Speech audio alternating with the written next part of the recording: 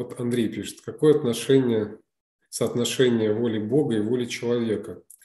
Как же увидеть и понять волю Бога? Нет другого способа узнать волю Божию, как из Слова Божьего. То есть э, вот конкретно для нас говорил э, Господь Иисус Христос. А вот как даже сказано где-то, что Бог а, у апостола, да, по-моему, апостол Павел писал, что Бог а, много, многообразный, говорил в древности через пророков, а вот ныне говорит к нам через Сына Своего Иисуса Христа. То есть нужно слушать Иисуса Христа, слова Его, которые записаны в Евангелии, и так мы узнаем волю Божью. В принципе, то, что говорил Господь, а потом и Его вдохновенные апостолы, вот это и есть воля Божья. Я думаю, что кроме как из Писания мы ниоткуда ее не узнаем. Я соглашусь с Романом, что сначала, конечно, нужно изучить вообще, ну, сначала взять это из Слова Божие, и потом, я думаю, помолившись, если мы это если мы, помолившись, просим ответа во благо души, то, я думаю, Господь поможет. Там два вопроса.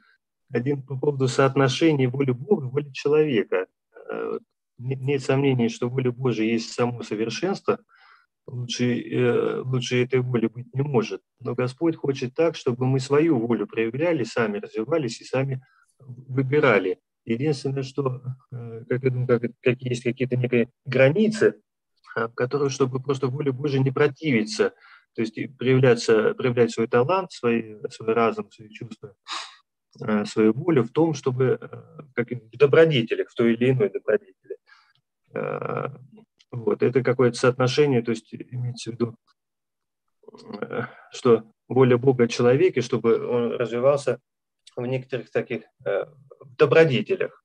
Вот а, но не обязательно прям вот самое лучшее, что есть воля Бога человека, то есть, ну, может, это и есть воля Божия. А, по поводу, как узнать ее, а, действительно, Священное Писание, есть там много этого, а, как узнать, это как бы, как и Серафим Саровский говорил, стяжать а, благодать, благодать Святого Духа, тогда и будут приходить те самые мысли или каким-то образом Э, желание э, призвать имя Божие, непрестанно молиться, за все благодарить, э, людей благодарить, Бога благодарить, людей благодарить, всегда радоваться вот в таких моментах. И через людей, особенно через верующих, тоже часто может подаваться воля Божья. Не обязательно через священников, также через людей, Э, через родителей, через супруга или супругов, ну, вот таким, таким образом. Благодарю. Ну, на самом деле, друзья, мы уже э, так вот самым руслом беседы потихонечку продвигаемся дальше, потому что ведь дальше есть слава в молитве Господней. Да будет воля Твоя, да, э, Божия на, на земле. Э, конечно, я поддерживаю всех наших участников в их мнениях, видениях. В целом они верны и соответствуют Священному Писанию. На самом деле вопрос и заданный, заданный вопрос и заданная тема интереснейшая вообще, в принципе, в антропологии как таковой, да, православной антропологии учения человека.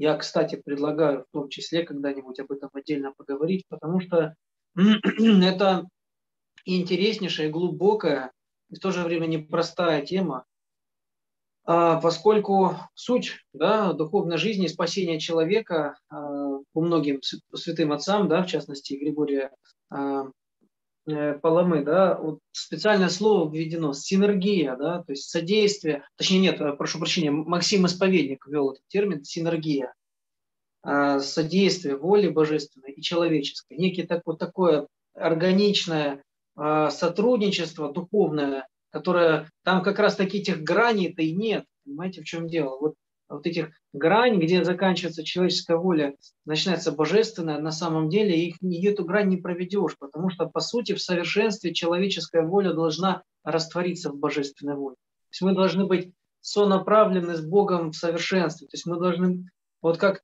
а, полностью, вообще, как грубо говоря, забыть о себе вообще. Но это, конечно, так вот э, из рассуждения. Это сейчас, конечно, в духовной жизни это достигается постепенно и не сразу. И при этом, что интересно, забывая себя в Боге, мы не теряем себя. Вот, то есть мы обретаем всю полноту себя в Боге по э, слову преподобного святителя Николая Сербского, вот, в его стоглавах о любви. То есть э, вот в этом как бы такая приоткрывается немного завеса да, э, на тайну Святой Троицы. То есть вот это вот Бог, а, Сын во Отце, Отец в Сыне, но при этом они, их воля сонаправлена, но они не растворяются друг в друге. Это вот примерно, берем пример да, спасения и человека. Вообще, конечно, если интересно, друзья, вот эту тему разобрать подробнее, есть э, у нас такой святитель э, Иоанн Тобольский Максимович, у него есть отдельный труд, называется он «Илиотропион» или «Сообразование с божественной волей». Илиотропион в переводе с латыни – это подсолнечник. То есть он взял такой образ, то есть как солнце, это подсолнечник, да, всегда движется за светящимся солнцем, так воля человеческая всегда сонаправлена с божественным. Там, конечно, он очень подробно все разбирает. Но в том-то и состоит, наверное, да, весь, весь смысл духовной жизни человека, чтобы научиться не без боли, не без труда, но научиться свою волю подчинять воле Божьей. В том и состоит падение человека, состояло Адама и Евы, что они выпали. Они выпали из вот этого вот единого кон- контекста божественного промысла, и воля их была направлена в противоположную сторону, как у дьявола. То есть дьявол, по сути, соблазнив Адама и Еву, он именно волю ихнюю э, вырвал, скажем так, да, из э, божественного промысла, да, то есть даже нет, о, из божественного предназначения по человеку.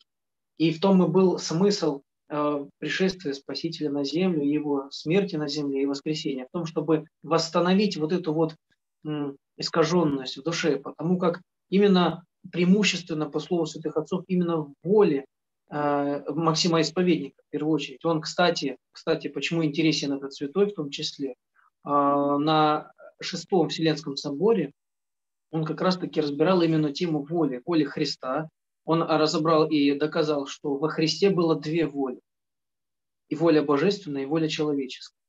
То есть были такие э, монаргисты, э, да, то есть те, которые утверждали, что во Христе одна воля, два естества, одна воля. Исповедник доказал, что во Христе было как божественная воля, так и человеческая. И вот именно во Христе, во всей полноте и эта самая синергия была достигнута. Э, сообразование, да, растворение человеческой воли в божественной, полное подчинение. И поэтому мы подражаем Христу, нашему Богу, как идеалу да, для нас в нашей духовной жизни. И сами стремимся к тому, чтобы свою волю подчинить воле Божией. И действительно верно сказано, а, все, как это нужно сделать, прописано в Слове Божьем. Но нам нужна мудрость, молитва и, что самое важное, личный опыт молитвенный. Наша, наша жизнь, вот вся наша жизнь, любого человека, она по сути является духовной жизнью. Независимо от того, молимся мы или не молимся, потому что мы а, так или иначе живем по, по, по движению своей воли. И э, очень важно, что Господь сподвигает нас выработать личный религиозный опыт. То есть не, не, то есть не только, чтобы мы не только вот читали да, Слово Божие и как бы так плоско, прямолинейно да, следовали там, заповедям Божьим. Нам Господь говорит, будьте э, мудры, как, как змеи. Да, то есть нам нужно рассуждать, личный опыт богообщения, чтобы научиться в тех или иных обстоятельствах через молитву, через призывание Бога, через вопияние к Нему научиться почувствовать, уразуметь, вот, вот, так сказать, научиться держать нос по ветру э, движения промысла Божия. Это, конечно, искусство, к которому мы все с вами, друзья, призваны. Друзья, знаете, кто-то из святых отцов э, говорил, что а, чтобы человеку взлететь к Царству Божьему, ему нужно иметь два крыла. С одной стороны, это воля Божья, с другой стороны, это собственная воля, чтобы они так синхронно махали. А, и вот, а, например, да, вот Марьяна у нас к нам постоянно ходит, и с одной стороны, ее волю там может лукавый подбивать, что, мол, ты лучше вечером пойди погуляй куда-нибудь, там на дискотеку сходи. А, а она а, свою волю сопоставляет с волей Господа, который нам заповедовал, да, постоянно пополнять светильник своей веры маслом, Вот она его пополняет, пополняет и летит вот на двух крыльях. И пока она летит, она светится. И ее имя Божье в ней светится и помогает нам идти к Господу. Она подает нам такой пример. Ну и как и другие наши участники нашей встречи. Вот поэтому, друзья, благодарю вас за встречу. Отец Андрей, большой вам поклон. Спасибо. А, всем участникам. Давайте помолимся, друзья.